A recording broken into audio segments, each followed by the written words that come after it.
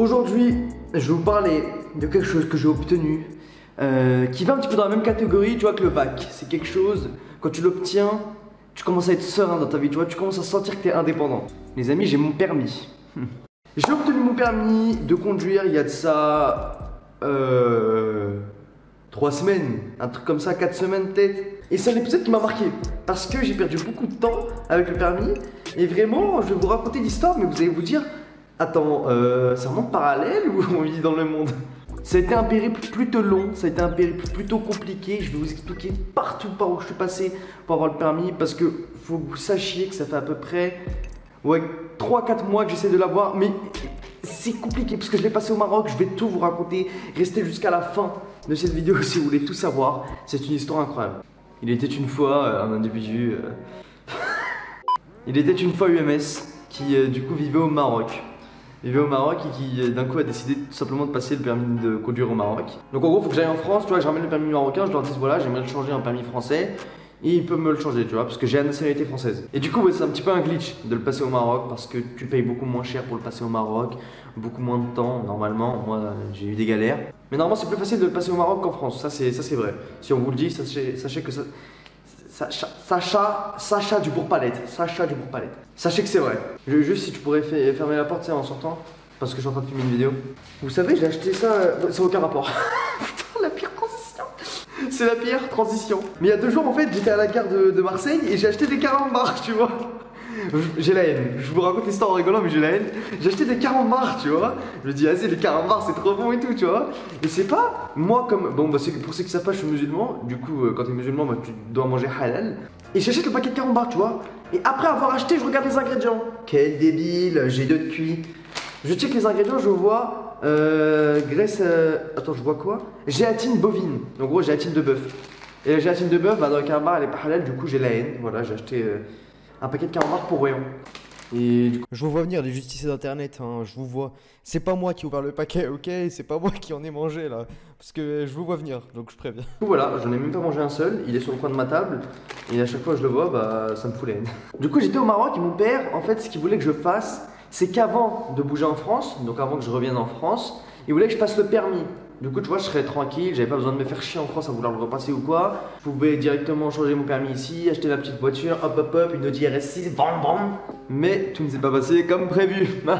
Donc il y a trois mois, truc comme ça, il me dit, vas-y, on va t'inscrire à une auto-école où il parle français. Tu vois, du coup, moi je lui fais confiance, tu vois.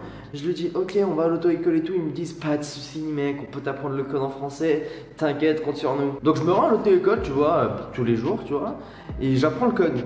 Il y a personne pour m'aider. Genre, je vous jure, je me suis jamais senti aussi seul. Je rentre dans l'auto-école, il n'y a que moi et l'ordinateur. Je n'ai personne pour m'aider sur les questions. Quand je pose des questions aux gens en gros qui sont dans l'auto-école, donc ceux qui gèrent quoi, ceux qui sont là pour m'apprendre normalement, ils ne parlent qu'arabe. Et moi, faut que je vous moi, je sais pas si vous savez, mais en fait, je ne parle pas arabe, je parle berbère. Et berbère, en fait, c'est une langue régionale. Ce n'est pas l'arabe que euh, vous pouvez entendre, je sais pas moi, par exemple, la télévision quoi. Moi, je parle une langue régionale du Maroc mais je ne parle pas l'arabe couramment. Et oui, c'est d'ailleurs, ça va. Enfin, ça d'ailleurs, c'est pas mal aussi pour, pour après. Écoutez, je vous jure, écoutez jusqu'au bout. Par pitié, écoutez jusqu'au bout. Du coup, voilà, j'ai payé et tout. Et finalement, je suis dans une autre école, tu vois, qui m'apprend pas bien le code, tu vois. Donc, les exercices en fait qui allaient vraiment t'aider pour le code le jour de l'examen, quoi, ils étaient en arabe. Moi en français j'avais que de la merde, tu vois, j'avais que des questions de merde qui étaient hyper simples en fait, qui ne servaient pas vraiment pour le jour de l'examen. J'avais que de la merde en français, tu vois, qui était traduit en français. Et ceux qui étaient en arabe, tu vois, ils étaient cool. Tu vois, mais moi, comme je comprends pas l'arabe, bah moi, je pouvais pas utiliser les bons exercices. Je sais pas si vous avez compris. Du coup, moi, je fais mes séries, tu vois, je fais mes exercices d'entraînement. Après un mois, je décide d'essayer de passer le code. Hop, mon père, il prend la voiture, pam, il met le moteur, vroom, vroom, il met la clé, vroom, vroom, il met le contact, vroom, vroom. Il m'emmène là où on passe l'examen. J'entre dans la pièce, hop, je donne ma carte d'identité, j'allume le PC, je mets mon casque, vroom, je commence la première question. J'étais comme ça hein, quand j'ai vu la première question. Et c'était des questions, frérot, j'avais jamais vu ça de ma vie. La vie de ma mère que je rigole pas. J'avais jamais vu ça de ma vie. Mais quand je vous dis jamais, c'est pas jamais, c'est jamais de ma vie. Du coup, je réponds, mais je réponds que avec ce que je pense être les bonnes réponses, tu vois. Je me dis, ah putain, ça semble logique, ça pourrait être ça la réponse. Du coup, je réponds, je réponds, je réponds. Il fallait avoir 32 sur 40, tu vois. Il fallait avoir 32 bonnes réponses sur 40 questions. Donc hop, je réponds les 40 questions, tac, tac, tac, tac. Je vais chez la monitrice pour qu'elle me donne les réponses, tu vois, pour qu'elle me donne le résultat. Elle me dit 28 sur 40. Là, à ce moment-là, j'ai envie de me pendre. Là, j'avais envie de me, de me pendre. Parce qu'en plus, j'avais droit à un deuxième essai, mais une semaine plus tard. Sauf que le lendemain, je partais en France, en fait. J'avais mon billet d'avion pour la France, le lendemain. Du coup, je ratais le deuxième essai. Donc je sais pas si vous avez compris, mais à ce moment-là, j'étais baisé. Alors, ce que vous devez retenir, c'est que je suis baisé. Je sors de la salle de l'examen, mon père il m'attend, il me regarde comme ça de loin. Non, il, non, il me regarde comme ça. Moi, je suis comme ça. Après, il est comme ça. Frérot, je l'ai jamais vu énervé comme ça. Il est rentré dans la voiture, il a mis de. Il est passé de 0 à 100 en 2 secondes. La vie de ma mère. Il a mis la première, il a, il a mis la première vitesse, il est passé à la cinquième. Direct. Il se sentait mal parce que ça veut dire on devait encore attendre, tu vois, pour, pour essayer de passer le permis, tu vois. Moi j'étais dans la merde. Moi à ce moment-là, tu vois, j'étais dans la merde. Du coup, vas-y, je me dis, je vais refaire ça, tu vois, quand je reviendrai de France, tu vois, normal. J'avais payé 5000 dirhams la toute première fois pour les frais d'inscription euh, et euh, passer l'examen. Enfin, bref, tout le permis, j'avais payé 5000 balles. Ça fait à peu près 500 euros. Tu vois 5000 dirhams, ça fait à peu près 500 euros. Et là, on me redemande 3000 dirhams. Donc ça fait à peu près 300 euros, tu vois. On me redemande, du coup, je dis, tenez, pas de souci, je suis un pigeon, tenez. Et là, mon père, il met la pression, tu vois. Il dit quand même, bon, est-ce qu'il y a moyen de vraiment apprendre à mon fils le code, tu vois Et de vraiment lui montrer les exercices qui lui servent? Parce qu'il faut savoir que vraiment, j'abuse pas. Croyez vraiment pas que j'abuse. Les séries où je m'entraînais, mais c'était pas du tout la même chose que les séries de l'examen. Vraiment pas. Genre, les questions, elles avaient rien à voir. Genre, je vous jure, ok. Par exemple, il y avait une question, frère, la vie de ma mère que c'est vrai. Je ne peux pas, mais vous pourrez modifier cela dans Réglage. Je t'ai appelé, non? Je vous jure que c'est vrai. Il y avait une question, c'était êtes-vous plus en sécurité dans un char d'assaut, donc un char militaire, que dans une voiture? Je vous mets, je vous mets l'écran ici, je vous mets le, screen ici. Voilà. Il y avait cette question-là. Je vous jure, c'est vrai.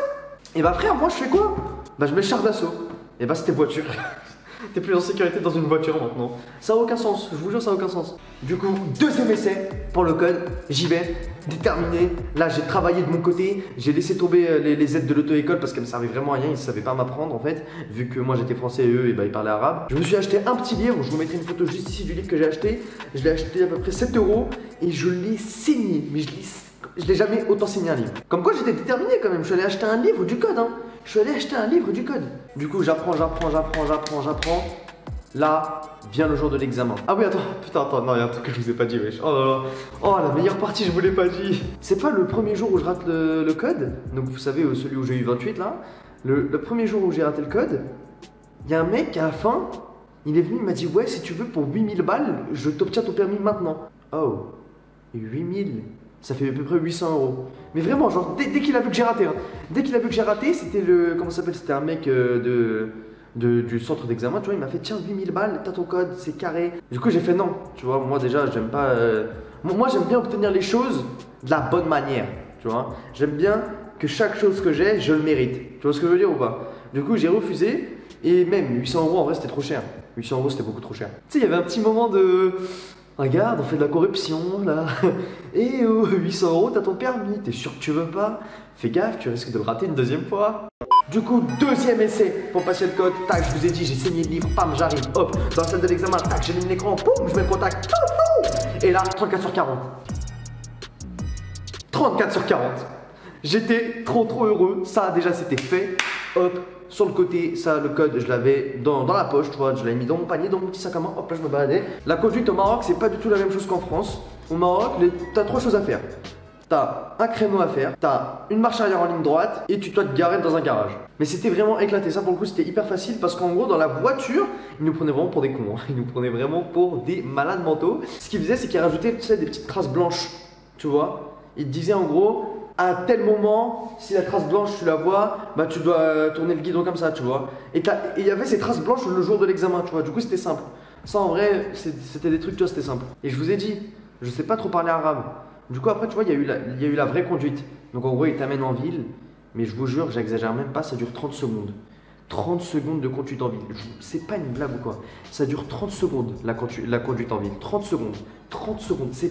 c'est- Je vous jure, je rigole pas quand je vous dis ça. Vous avez peut-être rigolé, vous parce qu'en France, c'est hyper longtemps la conduite. Enfin, bref, c'est hyper chaud la conduite en France, tu vois. Au Maroc, c'est trop trop simple. Je te jure, il y, y avait une personne avec moi dans la voiture, tu vois, qui faisait la conduite. Mec, elle est descendue même pas 100 mètres, même pas, je te jure, même pas 100 mètres. Elle a passé un stop et c'était fini, elle avait son permis. Et du coup, moi, comme je vous l'ai dit, bah, je sais pas trop parler arabe, tu vois. Et du coup, je confonds un peu la droite et la gauche. Quand on me dit lisad, tu vois, c'est droite et gauche, tu vois. Je confonds un petit peu, tu vois. Je suis pas opérationnel à 100%, tu vois, quand on me dit la droite et la gauche en arabe. Tu vois ce que je veux dire? Il me faisait passer la conduite, sauf que le moniteur ne savait pas que je savais pas parler arabe, tu vois. Du coup, il me dit Gilb. Je fais, hein?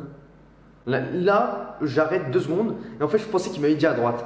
Du coup, c'est pas, je commence à mettre le clignotant à droite et tout, il me fait listen. Je fais Oh Je commence à me pisser dessus, frère. Et là, heureusement qu'il y avait des personnes avec moi dans la voiture qui savaient, en gros, qui me connaissaient, quoi, que, qui me connaissaient, que je connaissais. Ils lui disent en arabe Ouais, lui, il sait pas trop bien parler arabe, faut lui parler en français, tu vois. Il retient encore une fois Gilb listen. Et il fait Non, listen, listen. Je commence à, à bégayer, frère. Je fais Oh, I speak French, ok? Je commence à vraiment parler chinois. Et finalement, le mec il comprend, il me fait Ok, tourne à gauche. Là, du coup, je mets le clignotant à gauche, je tourne à gauche, hop, c'est propre.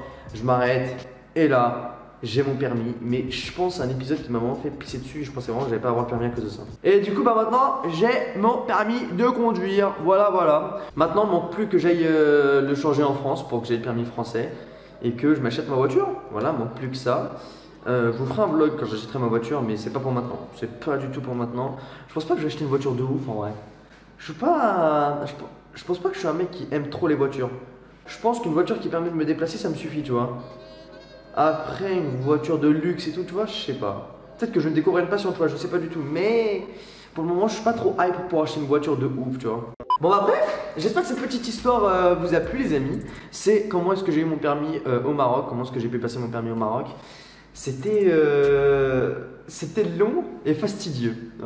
Bref, n'hésitez pas à mettre un petit pouce bleu. Je sais pas pourquoi je prends ma souris. N'hésitez pas à mettre un petit pouce bleu, à vous abonner, à activer la cloche des notifications et euh, à mettre le code UMS dans la boutique d'objets pour avoir un maximum de shield.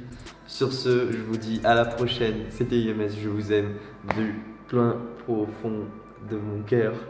Ciao